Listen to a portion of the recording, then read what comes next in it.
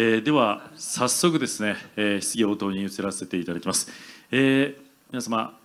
質問のございます方はですね、えー、挙手をお願いいたしますそしてご媒体名とお名前をよろしくお願いいたします、えー、質問のございます方いらっしゃいますでしょうか？ではよろしくお願いします中央の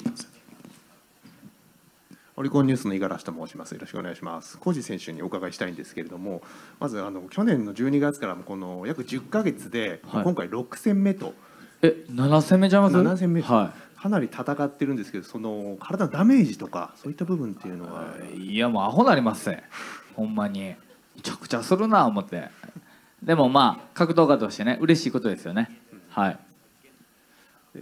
今回あのー、まあボクサーとの戦いということで、またジジ選手ともかなりタイプが違うんですけど、はい、やっぱり対策というか練習はかなり変えて取り組んでいらっしゃるでしょうか？何もしてないですよ。あの TMT は雑魚の集まりやからね。あのチンカス軍団ですよ。あの大将がね大将がまあちょっとねすごいからね。それに群がっとるねチンカス軍団やから。まああの日本のねトップのねあのスーパースターたちをね倒したからってねちょっと自分らが倒したような気になっとるからねこいつらは。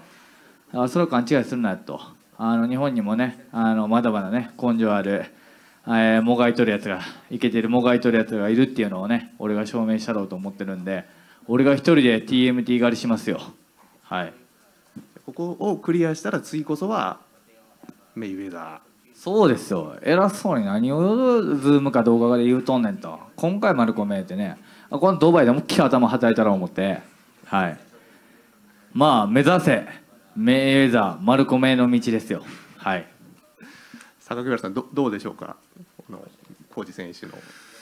まあまあでも本当にあのある意味あのロックオンされてるんだと思いますね。あのフロイド側からこれまでもそうやって日本人選手を固有名詞で呼ばれたことがないですよね。あの朝倉未来の時でも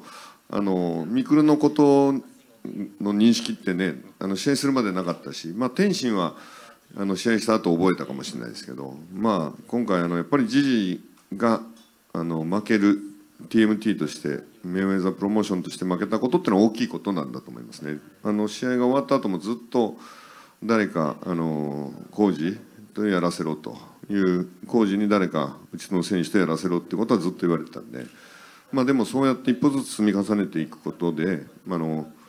親分が出てこざるを得なくなる可能性もあると思いますんでね。まあでもいい意味であの工事がどう捉えるかですけどもあの普段の日本のライジンの戦いとは別でまあドバイというアウェーの地でですね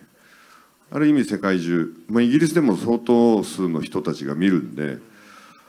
この前のジジに勝ったことによって工事の世界的な名前ってすごく上がりましたからまああのどういう野望を持ってるかあれですけど本当に世界中に名前を轟かせる僕はいいチャンスに工事にとってもなるのかなとそう思ってますけどね。